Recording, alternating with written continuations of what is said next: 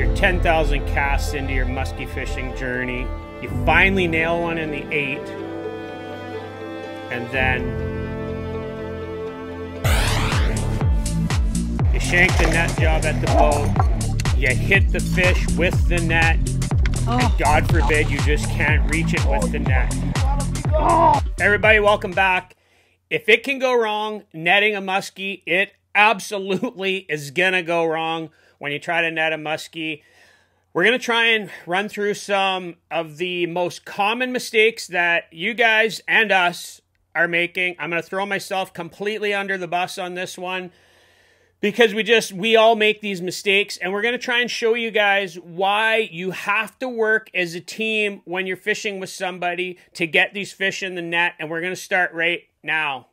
Before we get into the common mistakes, I want to talk about why it is you need to work as a team in the boat. I'm going to give you guys a couple examples of Dave and I, and because we fish together so much, we kind of know what we're going to do. Excuse me, and I have one example of Dave netting a fish and then one example of me netting the fish. Let's check out this example right here. This first one, I got a fish coming in. Dave's holding the bag. He doesn't force the net job. Gets in the bag real easy. There's a couple reasons. Let's slow it down right here. Dave could have went for the fish right here, but he didn't. He waited that split second, let go of the bag at the right time, and that really helped us get that fish in the bag super efficiently because we weren't forcing a net job. And the big takeaway there is hold on to the mesh on the handle and just let go of the mesh just before you're going to scoop the fish and don't rush that net job. Okay, let's get into a second example here where I'm netting the fish for Dave and contrary to what I just said, I'm not actually holding the mesh, but there's one big reason here, and I'll tell you as we get into this example. So in this case here, I don't hold the mesh because we have wind pushing, and I know that the wind's gonna push the bag away from the boat. And again, I'm patient with the scoop. And as I slow it down here, you're gonna see that as Dave pulls the fish up towards me, I scoop a little bit and then I realize, nope, the fish is still too deep and I reset and then we work together efficiently as a team. And the big takeaway here is knowing your wind conditions and knowing if the wind's going to push the bag away from the boat or push the bag into the boat. And for us, the real big takeaway here is Dave and I working together. Even though Dave reels left handed, and in most cases, that would mean he would put his hand on the front of the rod to try and pull it in towards the net. We almost always pull to our right and we try to pull the fish into the bag going to the angler's right side. And it works most efficiently if the net man is on the right hand side. And we're going to cover that in a couple of the mistakes coming right up. Understanding the tendency of the angler on which way he or she is going to pull the fish is so important as a net man. And a lot of times we lose a fish at the net and we instinctively blame the guy or the girl on the net. And that's just so unfair because you have to work as a pair. In this next example, I'm going to put myself under the bus. I made a very poor judgment call. Actually, I made two of them. I positioned myself on the wrong side of the angler and I tried to force a net job.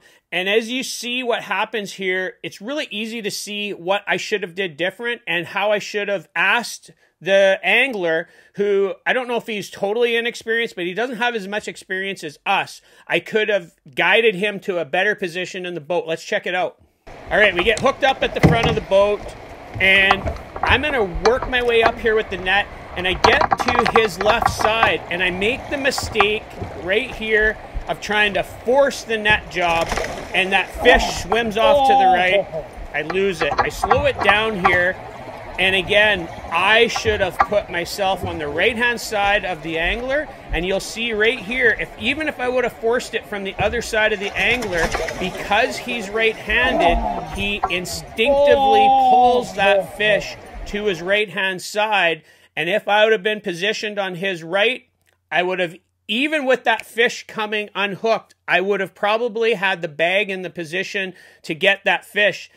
That was totally on me. I was in control of the boat at that time. And as a net man, you have to tell your angler sometimes to move this way or move that way or give you some room. It's not all about the angler, but the angler, you actually have to tell your net man, okay, we need to make some moves here so that we can more effectively try to get this fish in the bag. Probably the most common mistake I see in net jobs in a boat is that the angler is caught up in the moment and he thinks things are happening super fast. Oh, it's not hooked very good. It's right here. Scoop it. Get it. Why aren't you faster with the net? And again, it's just not fair to the net man. And in this next example, I'm not going to blame Mike here because Mike was trying to reel this fish in. But let's watch. The problem here is his drag was too loose for the size of fish that he had, and he just could not manhandle that fish close enough to the boat. And let's check out what happened here. So this is a very common scenario while musky fishing. The angler's working the fish. He's getting it close to the boat. There, I'm trying to scoop it, but I just can't reach it. I reposition myself in the boat and I'm trying to wait till Mike's pulling it towards me again, pulling it to his right. Right here, I'm reaching for it, but no, it's just not quite close enough. And then I realized I got to do something different here. And watch right here, you're going to see that after a couple failed attempts, I extend the handle on my Stowmaster and I'm able to finally reach way out and get this fish. The big problem here is that Mike just could not get that fish in close enough because he didn't have his drag tight enough. Now that's not really a problem of Mike's. It just it it was a scenario that happened. I did not want to force that net job, so I was being patient. But then I realized that, okay, we're working together here. He can't get that fish to me. I'm going to have to do something different and try and get the net out to him. The Stowmaster, I could extend the handle. I was able to get out there and we got that fish. But that is a really big problem in musky fishing that the angler thinks that they're in control of the situation and they want to blame everybody else around them. And again, we have to work together.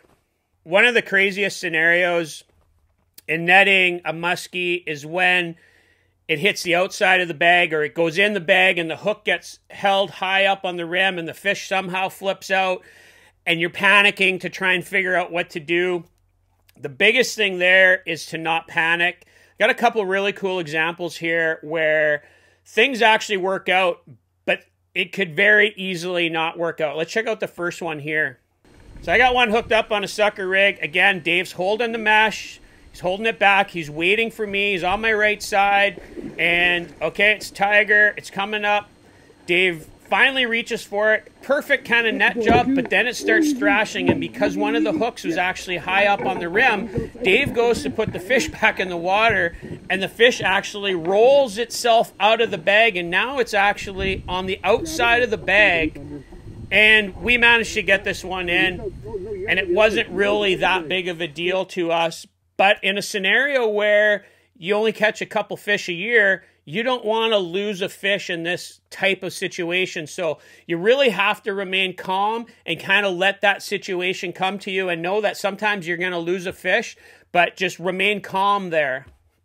Okay, this next one, I reached out to my buddy Matt Ridgway from Ridgway Customs, and he just posted this recently online, but I think it's a really cool example of solo fishing Something goes wrong with the net job. He doesn't panic. He's able to just calmly get through it. The fish does kind of cooperate, which helps. But let's check this out and you'll see. I'll just kind of let Matt talk through this clip because I think it's really cool. And you can just see that he stays calm. Even though when he sees the fish, he gets kind of excited. Gotta love that moment, especially when you're solo fishing. It It's so exhilarating when you catch a fish close to the boat, it's hooked up, and now you got to do the net job. Anybody who's solo fish knows what it's like. It's just, it's an adrenaline rush like nothing else in musky fishing. Let's check out Matt Ridgway. That is a big, big fish. Oh my God.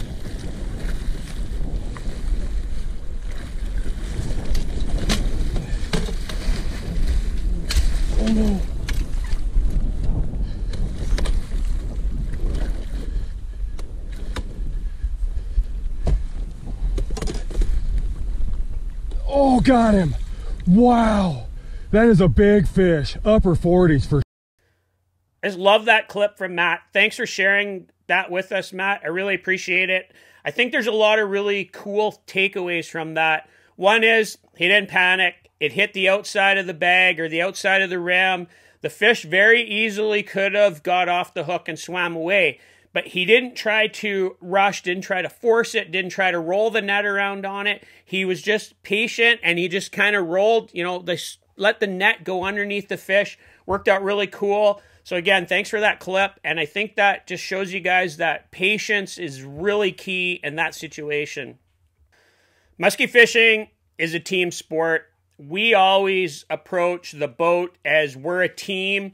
And I think if you guys take that approach with the people you're fishing with, that it's not who catches it versus who doesn't, or who nets it versus who doesn't. It's you work together as a team it's easy for me to say that because Dave and I and Kyla, and Richie, you know, the guys we fish with, we fish together a lot. We're fortunate to catch a bunch of fish, so we're not as worried about losing one or who catches more on one day versus who catches more on another day. For us, that doesn't really matter. It's about just getting together, having fun in the boat. If David catches five on a day, I'm super pumped. That means we as a team caught five. The next day, if I catch three, Dave gets none. He's super pumped too because, again, we caught it as a team. Check out this clip right here where we work as a team and you can hear us all cheerleading and giving instructions to what's happening in the boat when Ange gets her personal best fish. It's just such a cool clip because it it shows how much we all relay information in the boat to one another to successfully land a fish. Check it out. Look at this. What are you at for length there, Ann? Just keep going. Oh, it's right here, it's right here, it's right here. Oh, it's, it's a, a nice tiger, I think. Yes, it is. It's your tiger. Oh, just, I know, I know, I know. Come on, net man. Okay, it's Okay, okay. oh my, Hold on. Don't keep I got her, reeling. I got her, You got her. Thanks, keep reeling. Okay, it's almost there. Okay, baby. Come on, Dave. Here it is. Here it is. Come here, Dave. You got your tiger! Holy shit! Beauty! I don't think you understand what the No, this is. this is awesome. That's a huge This is a monster tiger. It's a nice one. Being successful in musky fishing is about, again, the teamwork, working together. But if you're the one on the net, try and work with your angler. Which side do you need to be on? What's the, his or her tendencies to pull the fish to the right or to the left? Hold the bag before you go to scoop in the water. Know your surroundings. Which way is the wind going to push the bag? All those kind of things. And always, always, always try to roll that bag under the fish. Don't try and force it from behind the fish or don't try to scoop it from the side. As soon as the fish, you know, feels that net in the water, they're going to try and roll away. You always want to try and go head first. I mean, these are simple things, but these are things that will help you guys put more fish in the net. And no type of musky fishing is more important for the teamwork of the boat than sucker rigging because it can happen so fast. Check out the video right here where we just have a super fun day on the water. We put a bunch of fish in the boat and things really work out for us. And until next time, 54 Bus is out of here. We'll catch you guys out on the water later.